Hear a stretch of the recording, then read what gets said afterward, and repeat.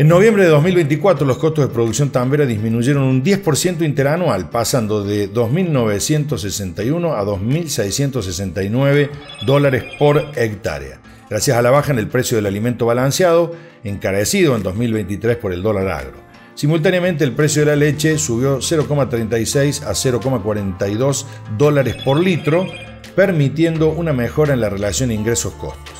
Según márgenes agropecuarios, esta recomposición se refleja en una caída de costos en litro de leche de 8.255 a 6.336 litros por hectárea.